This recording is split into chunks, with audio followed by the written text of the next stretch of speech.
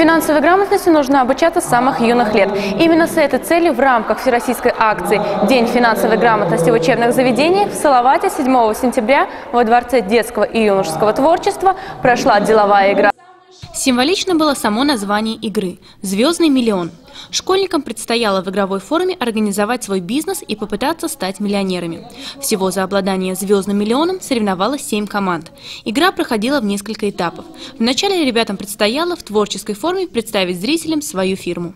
В честь праздника День финансиста сегодня проходила игра «Звездный миллион» а, за школьниками города Салават.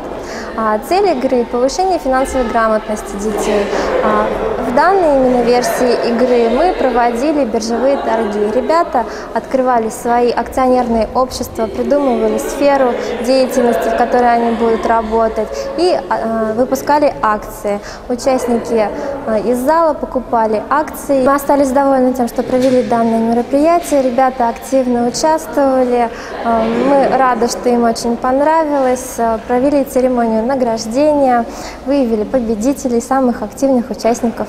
Организаторами увлекательного мероприятия стал молодежный финансовый центр города Уфа при поддержке отдела образования и комитета по делам молодежи администрации города Салават.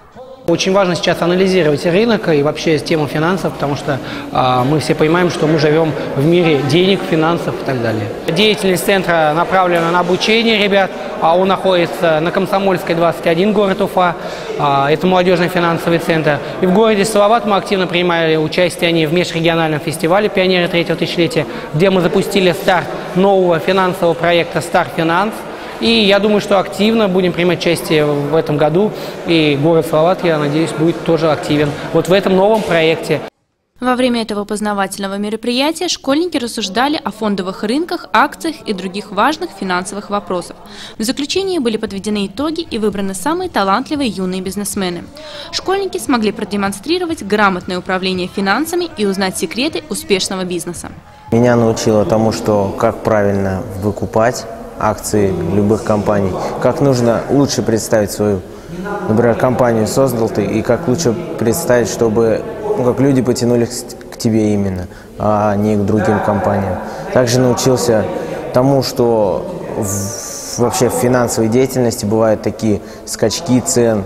Например, цена была большая и стала вообще низкая, более низкая. В этой игре участвую уже давно, ну, участвовал на межрегиональном фестивале «Пионеры третьего тысячелетия» уже второй год. Также попал в первый всероссийский финансовый лагерь на первую смену. Ну и очень нравится эта игра. Как можно чаще стараюсь играть.